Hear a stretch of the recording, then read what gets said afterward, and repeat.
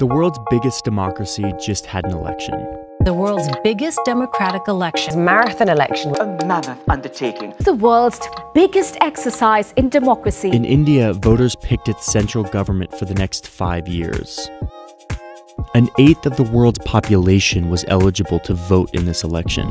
This year, 2019, there are 900 million eligible voters in India, making this the largest democratic exercise in the history of humanity.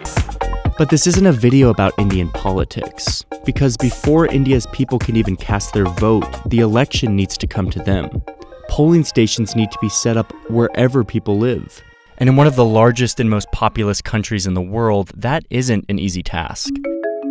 India has to reach voters in coastal cities in the south, in the rural regions of the west, and jungles to the east, and everywhere in between. And what's more, they want every Indian citizen to be within two kilometers of a voting station. That's only about 25 city blocks, no matter where you are in the country. It's an incredibly ambitious goal, and yet somehow they're able to do it. This is the biggest election in the world, and I wanted to know how does it work?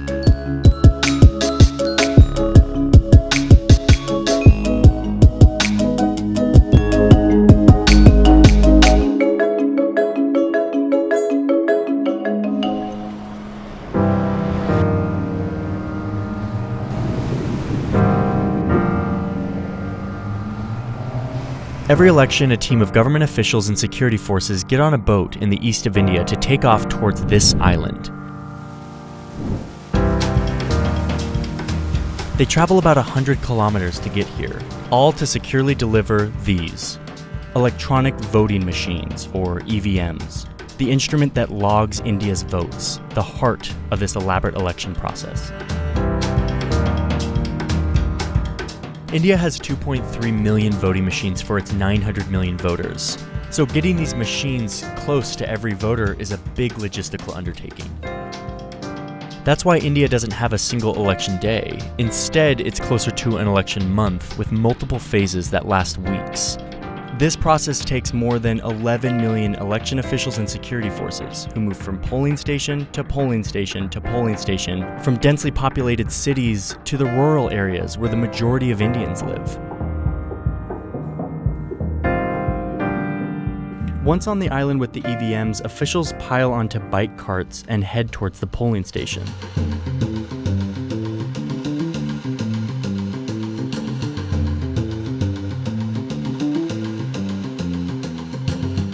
Once they arrive, they begin setting everything up for the vote. ওনাদের তো বহুত ধন্যবাদ যে এখানে এসে ওনাদের ওনারা আমাদের ভোটটা নিচ্ছেন। তাদের জন্য আমাদের তো খুবই শুভেচ্ছা ভালোবাসা রইল। আমার বক্তব্য সবার কাছে পৌঁছে পৌঁছতে পারছি। এই আর কি।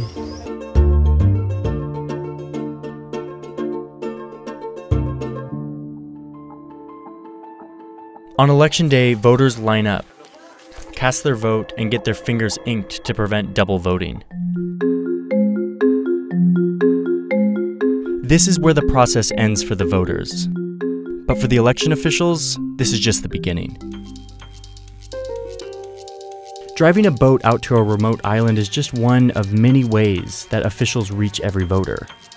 India's vast and diverse terrain requires transportation methods of all kinds. Like in the jungles of this northern state, where elephants transport voting machines to reach a remote town, or in the Himalayas, where officials hike for hours to bring EVMs for election day. Helicopters, trains, they even use camels. But what makes India's elections so impressive isn't just how they reach everyone in such a big country. That's just half the battle. It's also the ways they try to include voters of all backgrounds into the process, a challenge that has been a part of India's elections since the very beginning. India has 22 official languages and hundreds of dialects. And when India became an independent nation, less than a quarter of the population could read and write. The newly formed Election Commission of India created a range of symbols to correspond to each political party, like an elephant, a lotus, a hand, or even an alarm clock so that from the beginning, all people, regardless of literacy level and language, could vote with confidence. Since 1947, the literacy rate has increased significantly. but it's still only 75%, so these symbols are still useful to many when casting a vote.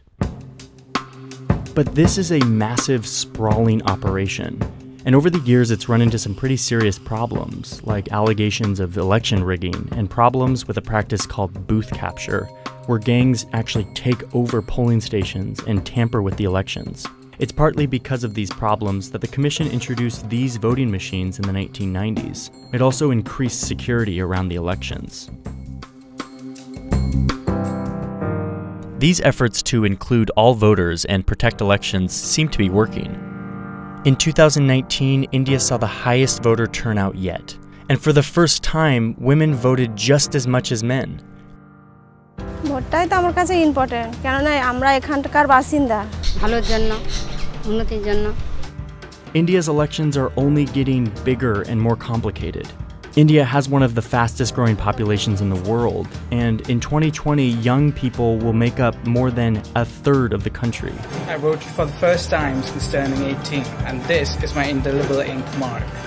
Done with our voting. So happy that I did my voting for the first time. Here's this is the biggest election in the world. It takes millions of officials fanning out across a massive country to help hundreds of millions vote. Every part of this the symbols, the elephants, the boats, the machines shows how hard it is to make sure that everyone in a country this large can participate. And all without going more than two kilometers from home. You want to learn more about the evolution of democracy in South Asia, you should check out the Bhutan episode of Asian Monarchies. It's a series of documentaries on Curiosity Stream.